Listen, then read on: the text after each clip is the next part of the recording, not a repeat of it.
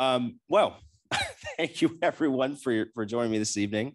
Uh, we do have people here in person. We also, with this camera up here, Ambassador, we have a couple hundred people watching online. My name is Justin Reash. I'm the program director of this National Churchill Leadership Center here at George Washington, and I'm the executive director of the National Churchill Society. Um, I'm pleased to have Ambassador Kurt Volker uh, here tonight, and we will be discussing the Ukrainian war and also the role that personal diplomacy plays uh, in modern crises, and the, and the ambassador certainly has experience with that. But before I introduce him formally, I would like to remind you of two things.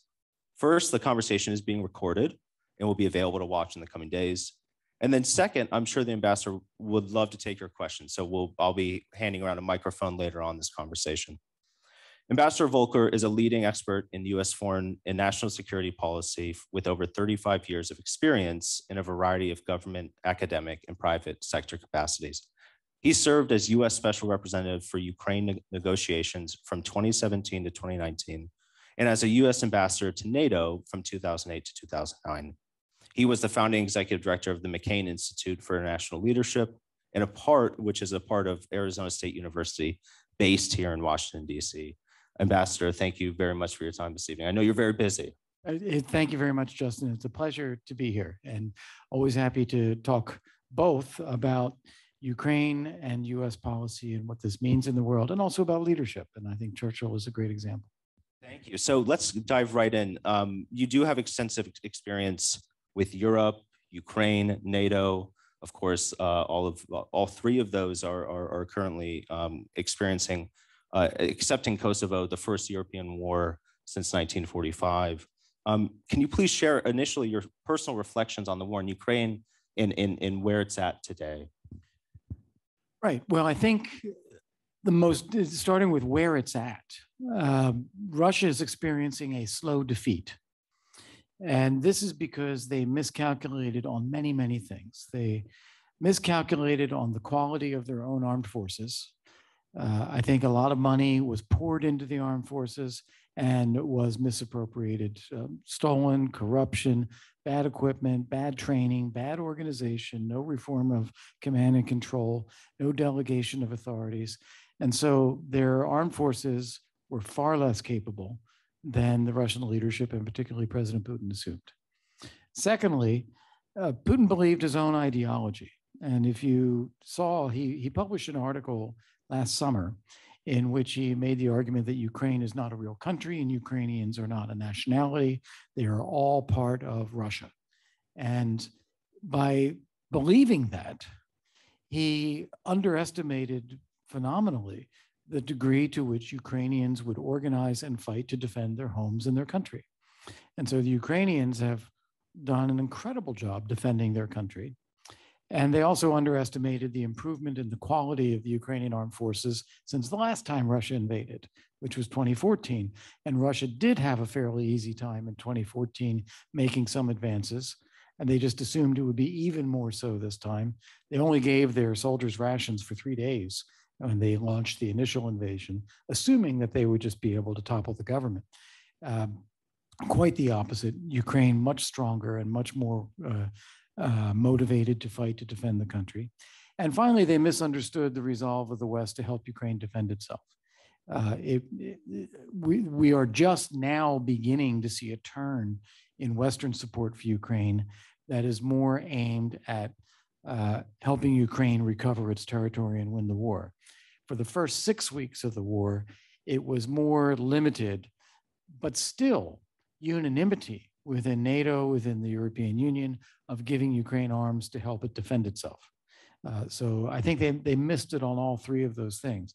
So where we are now, we have about two weeks before May 9th, which is the famous Victory Day parade in Russia. And Putin will want to show that he achieved something out of all this. Very difficult to do. What he's in the reality of what he's achieved is he's destroyed about a third of Russia's combat power and Russia's economy. And I saw an estimate today that the cost to Russia thus far of the war is well over $1 trillion in terms of GDP, in terms of money, uh, in terms of lost revenue. Uh, it's phenomenal. But what he will try to show is that he's taken the port of Mariupol, he's created a land bridge connecting Russia to Crimea, and he's been able to take more of the Donbass region where Russian speaking Ukrainians live and claim that he's liberated this. And so he will be seeking to package this in a way to say it's a success.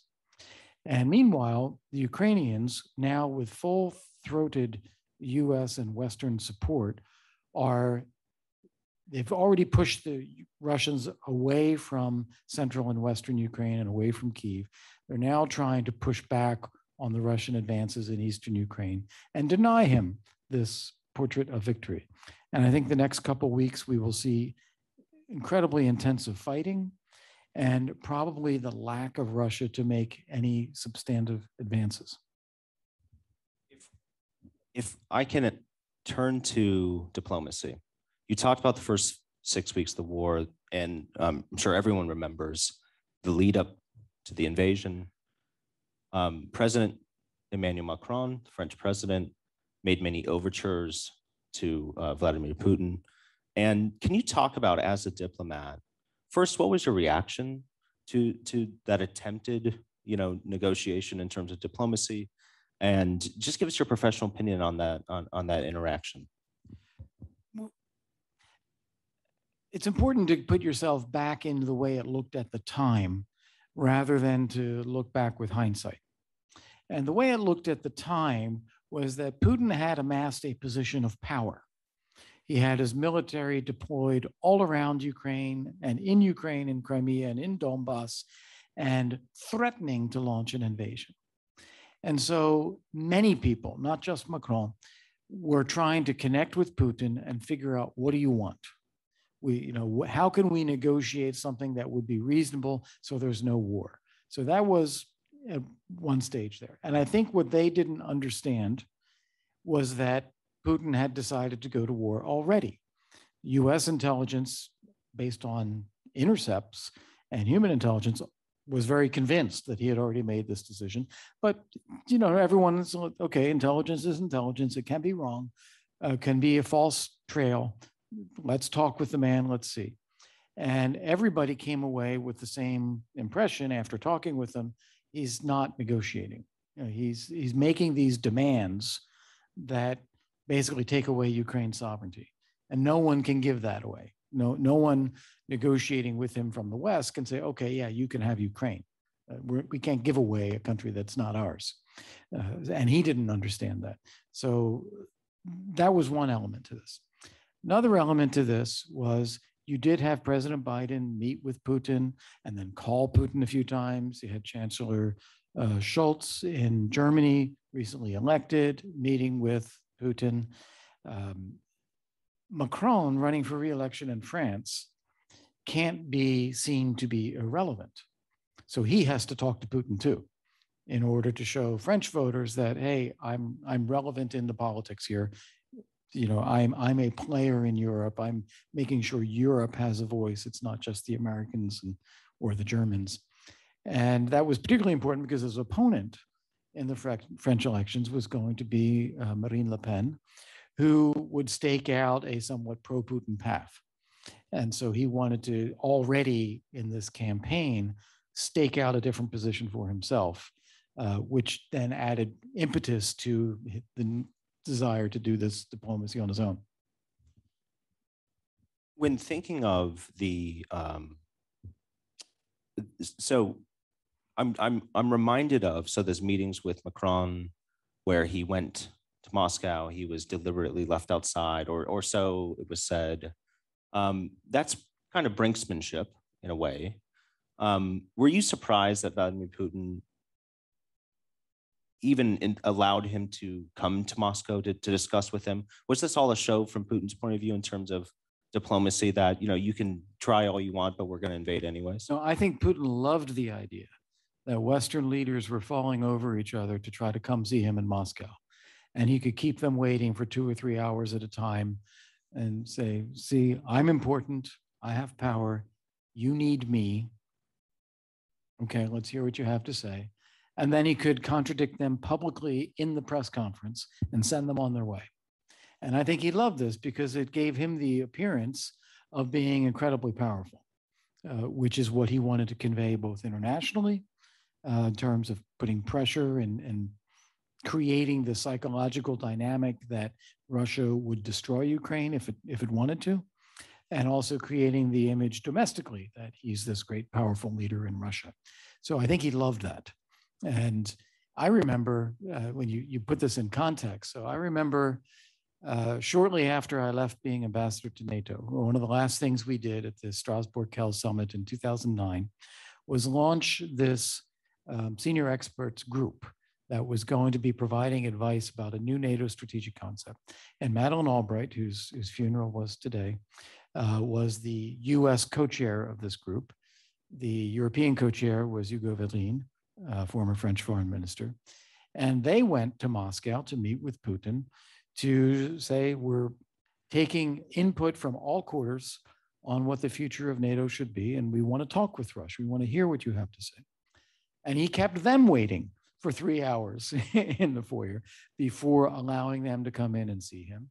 And then when they met with him, and they asked him what his thoughts were, he said, I think NATO should be destroyed. You know, uh, we I don't want NATO to continue to exist. And so it was very blunt and bold at that time, now 12 years ago, where he was sending a very clear signal. And we shouldn't be surprised at what we're seeing now. I was very surprised when, um, I don't know if you remember, just a few days before the invasion, the UK foreign um, minister, Liz Truss, met with Sergei Lavrov. And I was surprised, and she was basically reading from a script, and he was mocking her. And I was, so I was surprised at the um, rigidness of, of, of what she was saying. Do you think Western diplomats were too cautious with their Russian counterparts in the lead up to the war? I think they failed to understand Lavrov's role. Lavrov is not part of decision making in Russia. He doesn't have any control over foreign or security policy. Uh, he's a misogynist. Uh, he is there to make score points rhetorically. He knows history. He knows past diplomatic activities. He's very good on his feet. He can insult people, he can destroy arguments, he can press back. And this has nothing to do with actually negotiating with Russia. This is just him being the front person for this aggressive regime. And I think Western diplomats tend to think that their counterparts are like them, that Oh, so I'm the foreign minister of the UK. I sit in the cabinet. I discuss these things with the prime minister. We think about what our policy should be. That does not describe Lavrov's role at all. He's not even in the room. That's fascinating. And, and from your experience, um, that must be an ongoing um, deficiency with Western diplomats, is it? Yes. Um, so it gets back to something we were talking about earlier, which is understanding power. Putin operates on the basis of power, uh, and he wants to accumulate it, and he wants to exercise it, and he wants to maintain positions of power so he can use it in the future. And for him, weakness and instability and chaos surrounding Russia are fine because he can uh, exercise influence in those situations. We in the West, we tend to think the opposite way. We want stability, we want peace, we want uh, problems to go away so we can get on with things. For Putin, that, that state of play is the goal in itself. We think in terms of end states. What's the end state? What does he want? He doesn't have an end state per se. He has a process, which is accumulate and exercise power. And that's how you make Russia greater and get Russia more respected. So we need to look at the world not through the lens that we look at things through ourselves, but we need to understand that he looks at the world differently, that he looks at it from a perspective of power. And if we want to be taken seriously, or if we want to influence his decision making, we need to be dealing with the facts on the ground that he can observe and react to to show where power really lies. If we talk about off ramps, all that tells him is we want an off ramp. Uh, if we talk about negotiations, he views that as an opportunity to achieve what he wants without having to fight for it. Uh, this is there's no there's no let up here. However, if he sees, and maybe he is beginning to see this, that his military is not performing, that the West is actually arming Ukraine now and Ukraine is pushing back, that will cause him to adjust. And one adjustment we've seen in the last two and a half weeks is claiming that, oh, we never wanted to take Kiev and overthrow the government of Ukraine. All we wanted to do was take eastern Ukraine and connect the land bridge. So he's already re articulated his war aims as a result of facts on the ground. That's the way he reacts to power. Um, one of the most striking things in the few, first few days of the war um, was the incompetence of the Russian military. Um, thinking in, in, in, so this question is is in response to your he he re reacts to things on the ground. Um, I, I read many and heard many um, reports that he's isolated. His um, generals only tell him what he wants to hear. And by the way, they've lost now nine generals in the field, and I think America's lost two since 1945, which is incredible.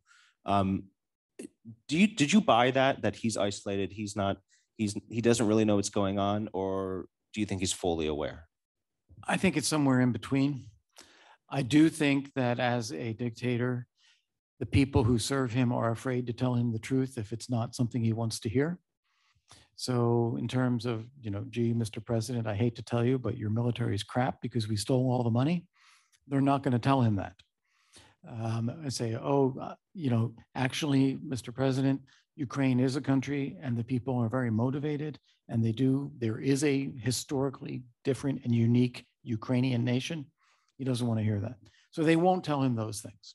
Uh, but he's not fully isolated. You know, he, he can get information, he can get news. He processes it through his own filters, of course, as anybody would, and his are extreme filters but uh, he's not completely isolated either. Uh, there is speculation that COVID enhanced that sense of isolation. He saw fewer people, especially fewer people from the West for about two years. So he was not getting alternative perspectives there.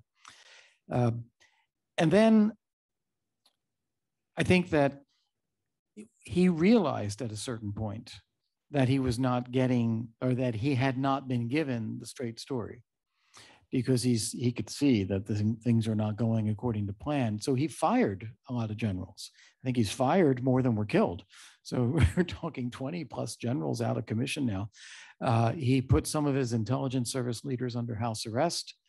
There's a news report, I don't know if it's true or not, that the person who had been charged with building up these so-called people's republics, Luhansk and Donetsk in Ukraine, Vladislav Surkov was put under house arrest. Don't know if it's true or not, but that would be an indicator as well that all these people I entrusted to do things failed. So a lot of finger pointing and scapegoating as a recognition, you know, and therefore getting the information in some way that this is not going well. And to articulate a new set of war aims after six weeks of, of you know, hard slog and bad results indicates that something had to have happened here. There was also um, story, you know, this is Kremlinology all over again. The defense minister and the head of the armed forces, um, Shoigu and Gerasimov, basically not seen for you know week two to week six of the war, claiming to be sick or claiming you know whatever, basically not seen. Uh, Shoigu has now recently been seen again, and the photograph was one of him sitting about as far from Putin as you and I are sitting, which, as you know from the Kremlin photographs, is unusual. Secretary General of the United Nations, Guterres, was in Moscow yesterday, and he's about as far from Putin as I am from the back wall of the room. Uh, so the imagery of bringing Shoigu closer was something maybe that Putin's trying to convey again. From your time at NATO, um, give us a understanding of how this war has strengthened NATO's mission as opposed to its other multinational um, supranational body, the EU. Right. So NATO, in its strategic concept, agreed in 2010 says it has three core functions. It has defense and deterrence of its members, you know, defending its members. It has crisis management, so dealing with security crises in the world. Uh, and remember, Afghanistan was a big part of what NATO was involved with for you know 20 years. And third is cooperative security, so working with others who are not members to build security in the world. And we had a lot of struggles within NATO. We had countries, many countries, who did not pay 2% of GDP, even though they had agreed multiple times to do so, just would never deliver and do it. We had uh, conflicts such as in Libya, where I think only eight of the, at the time, 26 NATO members agreed to take part. Uh, so a very small number saying, yeah, we'll, we'll vote for it, but we won't do it. That's a bad sign as well. Um, so, and I, I, should add too, you, we, can't forget President Trump questioning whether you know, we should come to the defense of allies who were attacked if they have not paid 2% of GDP on defense. Uh, you know, apocrypha in NATO speak. You know, you don't question collective defense. And we did that because of the lack of, um, of defense spending by some countries. So, and that led to a big counter reaction within NATO against the United States. So that's the situation going into 2020 and 2022. And now I think NATO has really rallied around the mission of collective defense, that they've seen Russia attack a sovereign and independent European state, commit war crimes, conduct these attacks with the utmost brutality. And they see that, okay, we cannot be seen to be weak. We have to convey an ironclad commitment to collective defense. We have to back it up with capability that is seen. So, hence the deployment of forces into Poland, Romania, Baltic states, more US forces uh, flowing back into Europe, forces from other NATO countries, West Europeans moving to Central and Eastern Europe, like France or the Netherlands or Germany, in order to demonstrate unanimity and resolve with the NATO about collective defense. So that has been a real shot in the arm for the core mission, number one. However, by doing that, it inadvertently conveys a sense that, well, Ukraine, you're not a member of NATO. And so we're not going to do anything to defend you. And so we're making all this effort to show that we will protect countries that are not under attack, while the one country that is under attack, we're saying you're on your own. Uh, so that was not a good showing for NATO. Uh, I think that that turned, if you remember, we had in the last six weeks, I think four cabinet level or presidential level meetings at NATO. We had a defense ministers meeting, a foreign ministers meeting, presidential level summit, and then another foreign ministers meeting.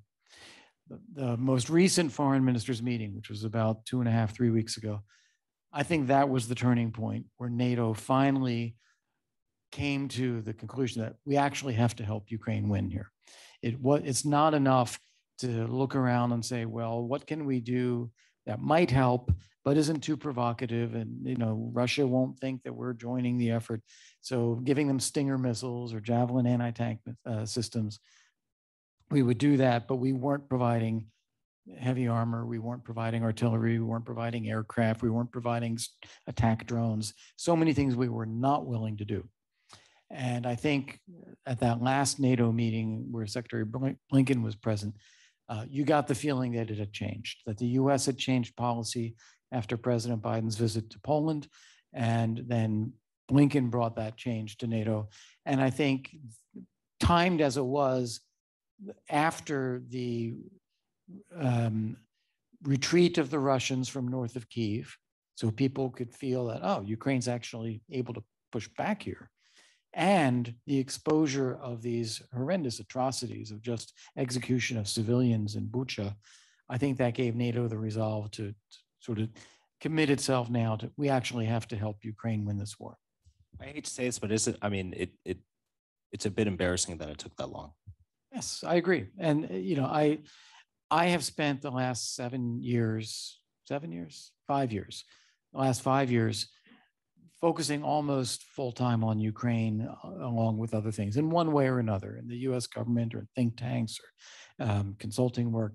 And I could see a lot of the things that we're talking about Ukraine's sense of national identity, the will to fight, um, the fact that they are a democracy and that they are fighting for the values that define all of us.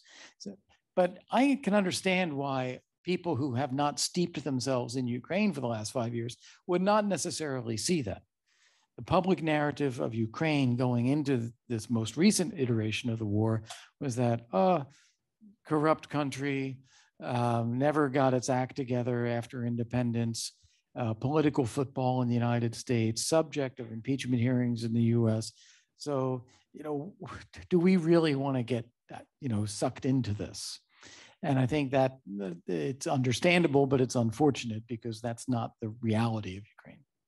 So one or two more questions for me, and then uh, we'll, we'll, certainly turn the microphone to the audience. We are, you know, we're in the Leadership Center, Churchill Leadership Center. You were the uh, first executive director of the McCain Institute, uh, another admiral leader, admirable leader himself. What does Zelen- President Volodymyr Zelensky's leadership, at least in the past two months. What what what has struck you about that? And like you said, are you surprised by his leadership? So uh, the second part first, I'm not surprised. So I met President Zelensky before he was president, when he was in the campaign against then President Poroshenko. This was February of 2019. And I was really struck by his sincerity that he was coming from outside of politics and he wanted to change things. And he knew that Ukrainian people were sick of the same old, same old in politics and corruption and money. And he said, We got to change this. So he knew he had the wind at his back and he was speaking on behalf of the aspirations of the Ukrainian people. So he, he was really committed to this. He didn't know how to do it, and he was surrounding himself with smart people, trying to come up with policies and plans so that if elected, what do you do? And then I went to his inauguration. And on the day of his inauguration, he gave a firebrand of a speech and dismissed the parliament and said, We're going to have a new election. And I want everybody to go out and you know get a fresh mandate and we're going to reform this country. So he really was passionate about this. So I'm not surprised that in a situation of being the country being attacked and needing a leader to stand up and articulate the will of the Ukrainian people to call for international assistance, be a great communicator because he comes out of, of media. I'm not surprised by that at all. In between those points in time, of course, there was a period of governance of Ukraine, which was very difficult, and he didn't get as much done as he wanted to do. His popularity sagged, uh, but he turned out to be exactly the right person for being a symbolic and articulate leader of the country during wartime. And uh, I think uh, bringing up the McCain Institute, one of the first things that we did when we founded the McCain Institute was go around and interview people uh, in positions of leadership. So, you know, various US senators or governors, military leaders. How do you define leadership? What, what is leadership? And the one that stuck with me, uh, and it was a US senator who said it, is simple uh, courage and integrity. So you you've got to be you know pure in your purposes and transparent, and you have to be willing to take a risk. You have to have courage to do the right thing, and I think that Zelensky has demonstrated exactly that: courage and integrity. So, if President Putin only understands power and will most likely not accept any sort of rational, reasonable outcome from your experience point of view, what do, what do you think is the end game for this war? Although with the big caveat, of course, both in history and current affairs, we have no idea what's going to happen. Right. Well, thank you for the caveat because we have no idea. Anything can happen. Uh, we have to always remember that anything can happen. But what looks like it's going to happen is Putin is going to try to assemble something that he can claim to be a victory by May 9th. Land bridge, taking Mariupol, more of Donbass, wrapping it up and saying, we achieved our goals. And then seeking to why uh, to, to de-escalate the war a bit into a low-level conflict, as had been the case for the last eight years, sort of bring it back to something like that. The Ukrainians are going to try to prevent that. They're, they're, they're going to try to prevent him keeping the land bridge from taking all of Donbass. They're still going to try to save Mariupol. They're going to push back on Kherson in the south and deny him that kind of victory. And even if he declares that victory, the Ukrainians will keep fighting.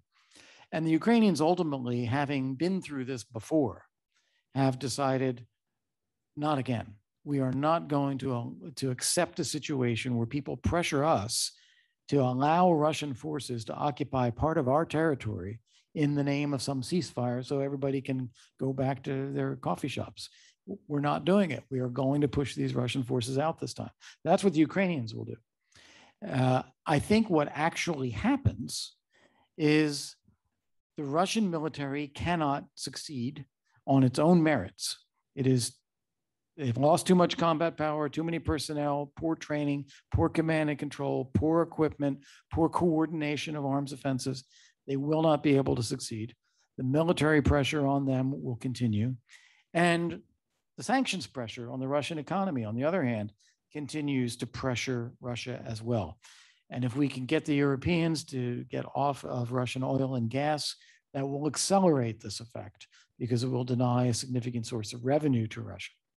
So what happens is Russia experiences a slow defeat while Ukraine pushes back and the West pushes back on the economy.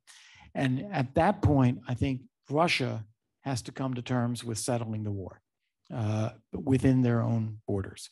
Uh, they're not there yet. We can't see that yet today, how we get there. But I think the, the forces are in play that that's where it drives the outcome. Thank you, Ambassador. So uh, if anyone please raise your hand, I'll, I'll bring you the microphone. So I'm, we have plenty of time. We'll get to them. I'm going to start with you. Sir. Thank you. Thank you, Ambassador, for your very valuable insights. It's been extremely interesting. My question is, the port of Odessa is the key to Ukrainian agricultural exports. Without the port of Odessa, it becomes a landlocked country. And my question for you is, what are Putin's plans for um, Odessa? And do you think he can achieve them? Do you think he can occupy Odessa? And, and how hard will the Ukrainians be? Because it seems to me that without Odessa, they, they're not a country in the sense that they are now. Yeah. Uh, for, so first off, you're absolutely right about the significance of Odessa. It is the premier access to the sea for Ukraine. And it is where agricultural exports, steel, coal, et cetera, could go through there. Even without Mariupol, where some of the coal and steel had gone through, you could still get it across and go out through Odessa. So it's very important that way. It's important partly because the rail routes and the land routes, west and north, uh, Poland, Slovakia, EU, were never developed during the Soviet Union. So those that infrastructure doesn't exist there. Whereas you could be a landlocked country, you know, like a Hungary, like an Austria, and be fine. But that's not the case with Ukraine because those things don't exist and Odessa does exist. So it is tremendously important. The second is it is Putin's plan, I believe, to take the entire southern coast and connect Russian territory through Mariupol, land bridge to Crimea, and west from there through Mykolaiv and Odessa and all the way to Transnistria and Moldova. That's what they would like to do. I don't believe they have the capability to do it. I think that what we've seen with their attacks on Kiev and their inability to mount operations at a distance with, with terrible supply chains shows that they couldn't do that. The Ukrainians took out the flagship of the Black Sea Fleet, uh, the Moskva, uh, which meant that the Russians had to pull many of their other Black Sea ships back away from the Ukrainian coast. Uh, so you, Russia's ability to mount an offensive against Odessa is significantly diminished. You may have heard that in the past couple of nights, they have increased bombardment around Mykolaiv, which is the city that is guarding Odessa. So they're trying, but I just don't think they're going to be able to succeed. Um, so one question online first, and then we'll go to you. So um, one question online was, why are some Western leaders, or well, one leader in Hungary, the other who was potential leader, Marine Le Pen, Why do you think they are soft, quote unquote, on, on Russia? Well, there are different reasons for different people. And I think Marine Le Pen looks at it through a cultural prism, much like some of the far right in other countries, both here and in Europe, where they see Putin as a strong leader, someone who's defending Russian nation, Russian nationalism, Russian, Russian religion and culture and tradition. And this is something that she wants to do in France for France. And so she sees a parallel. And you could see this in the far right in Italy or the far right in Germany. Uh, you could see this to a lesser degree um, in Poland. They, they have no affinity for Russia at all, but the far right in Poland still it's about national symbols and identity, even in the far right here. So I think that describes her to some degree. Orban, I think, is completely different. Orban, I would see as someone who looks at the EU as a hypo- as hypocritical, uh, looks at the US as hypocritical. Says, look, you say that we have to be tough on Russia, we have to sanction Russia and all that. Where's Germany, you know, making all its money? Germany is building Nord Stream 2. Germany is buying the Russian gas. The Italian luxury goods are going back and forth with Russia. The French want to do deals with Russia. Why should we be chumps? Why should we be the ones who play by the book here when nobody else does? And even beyond that, you can say, even if others are moving ahead with sanctions on Russia and trying to get off of Russian gas. He said, well, we're going to look out for our national interest here. We don't have a, a, natural supply of energy for Hungary. We need to do business with Russia. Doesn't mean we support Russia. Doesn't mean we want Russia to take us over, but we're going to do business. So that's kind of his mentality.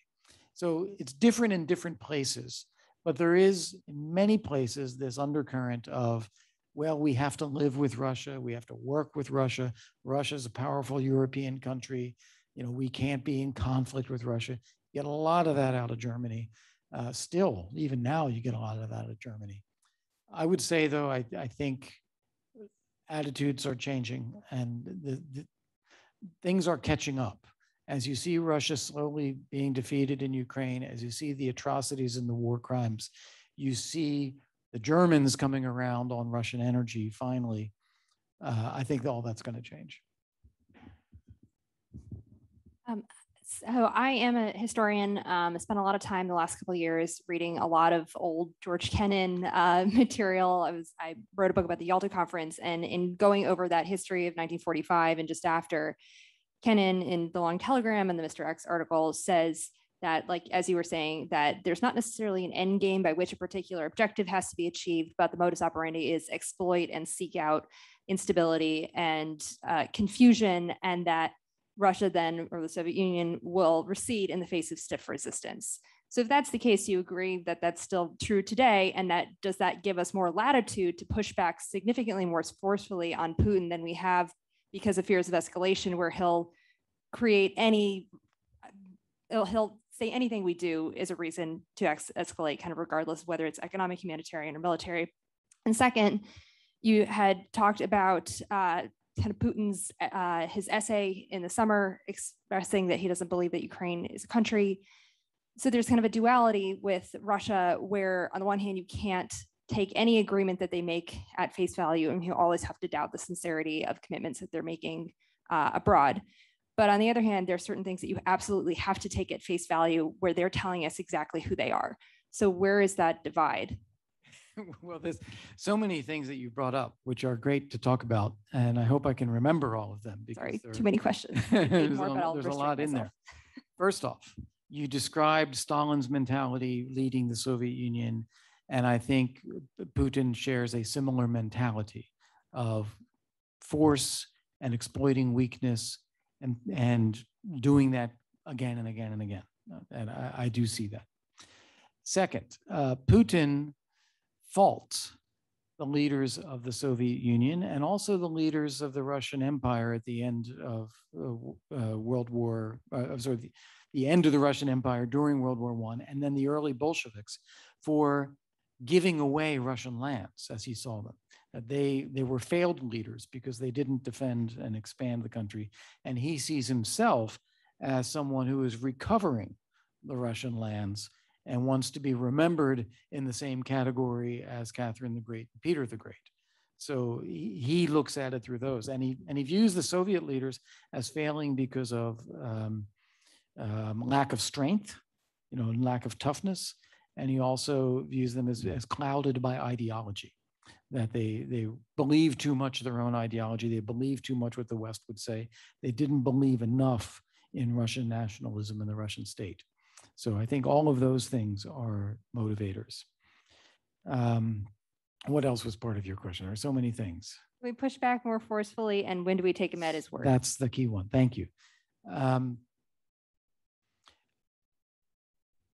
we talked about lavrov a little bit when you listen to Russian leaders speak, you don't need to listen to what they say as much as you need to ask yourself, why are they saying it? Because they are trying to influence, they're trying to shape our thinking, shape our reactions, our sense of what's possible.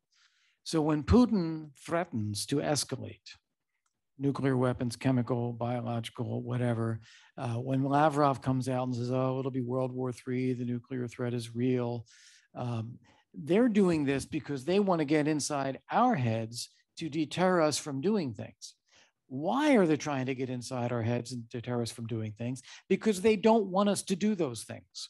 they, they are having a hard time fighting the Ukrainian military as it is.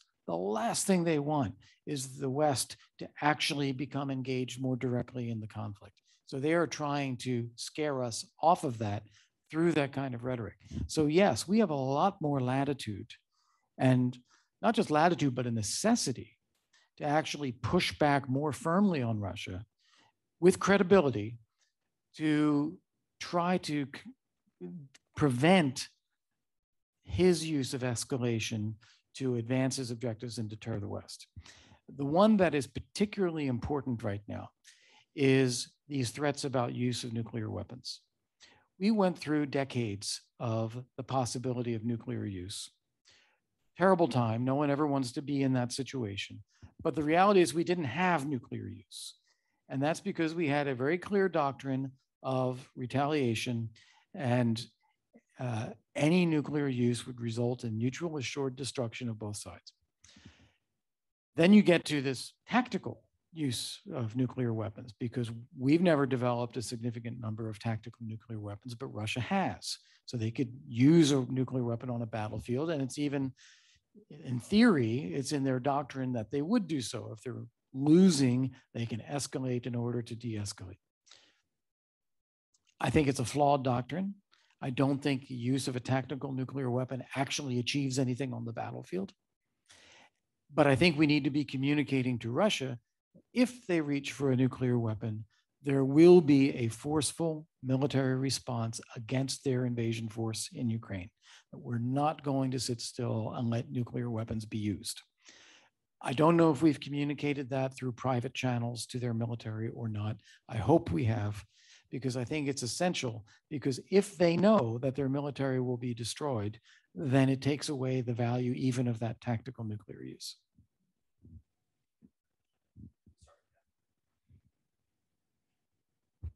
Thank you. Thank you. First of all, Ambassador Volker, uh, thank you for your service and your integrity. Um, what is happening in Ukraine right now, it's um, a terror um, I mean, rounding up civilians, shooting them. Um, I mean, the quantity we could we could debate, but um, this has crossed a line to me. Um, do you think it reminds me of the 1980s movie Red Dawn, Soviet invasion of the United States?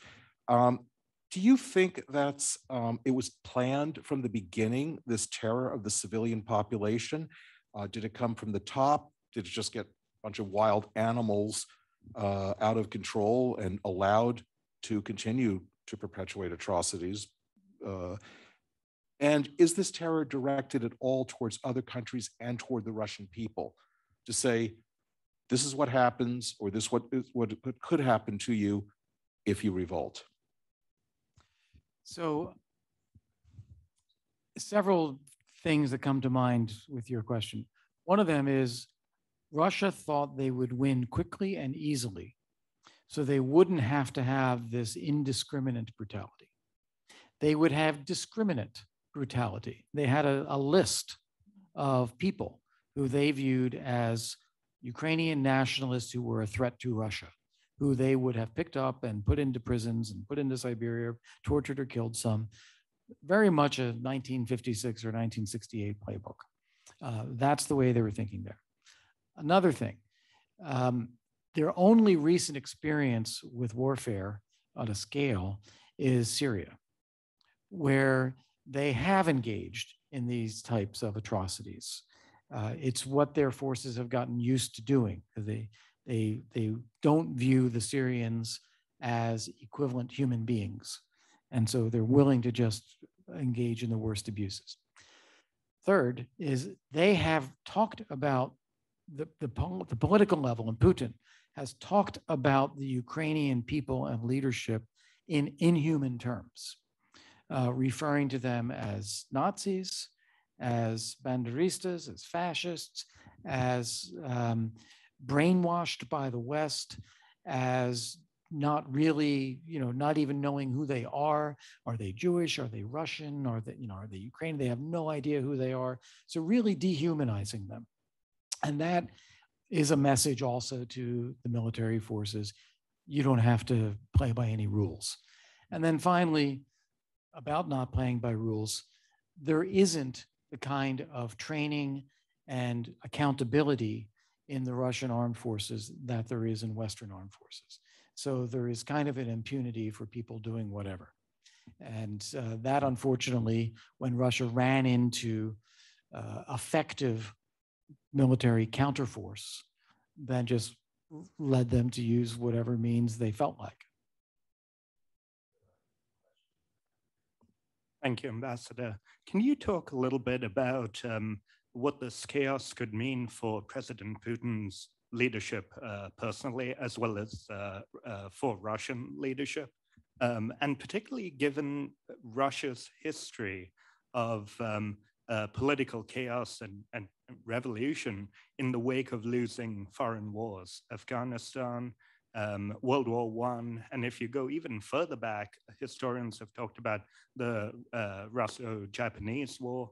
So that's a that's a real trend line there. Yeah. So first off, uh, I think the most important thing that we can say with confidence is that Putin has not left himself a way out. Uh, he has committed to a military victory over Ukraine in order to rebuild a Russian empire on the ashes of the former Soviet Union, correcting the wrongs that he feels were done in the past. So, and he has, it has gone badly for him militarily, and he's brought incredible pressure on the uh, Russian economy. He's, he, everything has gone badly. So he, he cannot claim to be leading successfully unless he pulls a success out of this.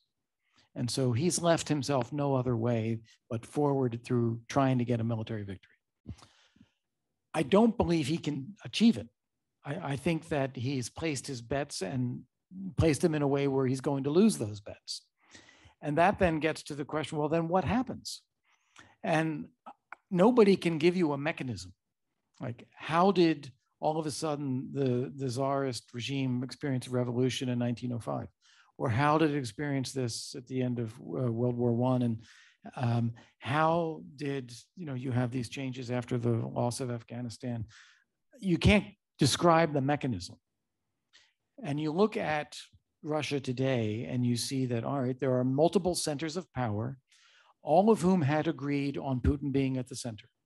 The, the Siloviki, uh, the former KGB people, the intelligence services, the military, military intelligence services, the state-owned enterprises, private oligarchs, those who control the media, uh, a whole network of control that recognize Putin as the center. They must know that this is going badly. Many of them are probably worried about their positions, their wealth, their families, the country and they see that he's destroying the country. Does this translate into them removing him from power or uh, forcing him to accept a, a withdrawal? I don't see how that happens. Putin is clearly worried about it because he has arrested several generals. He has put house arrest uh, on some of his intelligence services. He fired his entire household staff in order to replace them with people who might be less um, uh, less confident about maybe doing something to him in the household. So uh, he's clearly worried about the possibility of something internal going against him. He's he's called oligarchs back. He's forced them to choose. You're either in or you're out, um, but you're not part of Russia if you're out. Uh, so we don't see the mechanism, but we do see the forces building. And so I I have to I have to believe that there's there's no way that Russia comes back as a country with Putin still in power. They will be subject to all these international sanctions. They'll be a global pariah. They, there will be this constant support for Ukraine. Russia doesn't come back with Putin there. After he's not there, whatever that means, I think there will be a search for re engaging Russia. And I just hope that when we are at that point, there's also a search for Russia reconciling with its actions and its past. Thank you. Since we're at the Churchill Leadership Center, can you connect up for us some of the lessons learned or not learned from Churchill's leadership? Well, uh, the, my favorite one is that Churchill reportedly said that you can always count on the United States to do the right thing after it has exhausted all of the other alternatives. and and I think we are kind of watching that again in our support for Ukraine. We were reluctant, we were slow, we were half steps, half steps, half steps. But I think we're finally in the mode of recognizing that we can't allow Putin to, to succeed in Ukraine, and we don't want to live in a Europe with a Russia led by Putin in the future.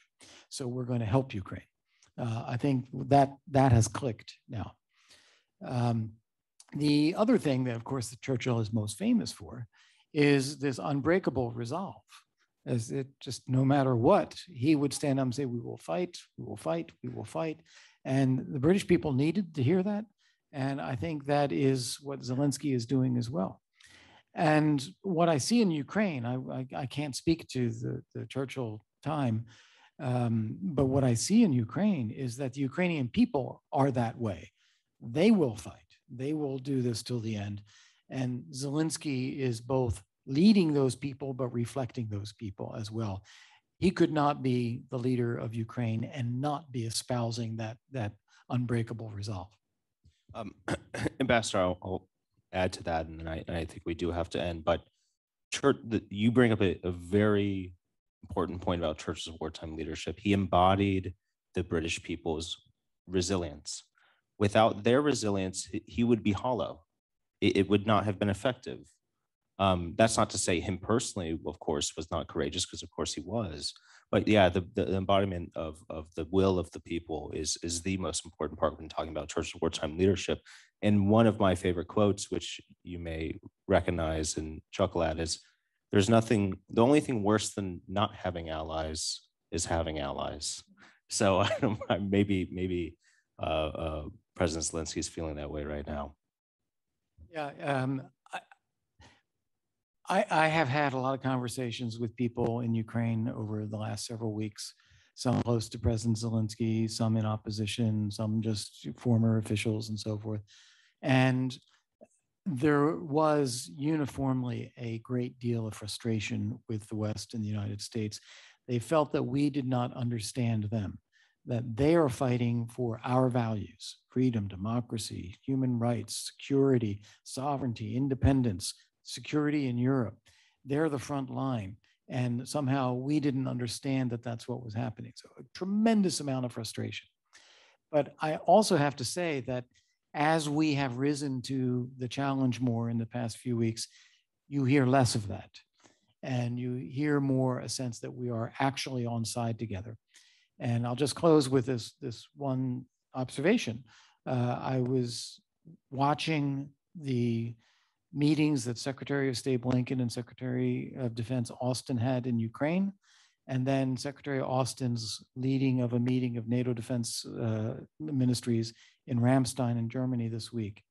And you really do get the sense that now um, they have decided that, okay, rather than defining what we can't do, we're going to sit down with Ukrainians, figure out what is needed, figure out what we can do, help them do as much as they can, train them. We're not limiting to Soviet era equipment. We'll give them Western equipment. We'll train them on Western equipment. We'll give them help with strategy and tactics so they can plan better. And we're going to bring 40 other countries around the table as well, so that it's not only the United States, and maybe we're not even the best one to do something if someone else can do it. I think that is a big change, and I think that we will see um, more uh, more understanding from the Ukrainians that finally we get what this is about. Uh, Ambassador, thank you. Uh, Thank you for your time and, and of course, service to the country. So thank you. Thank you for having me. Thank you so much.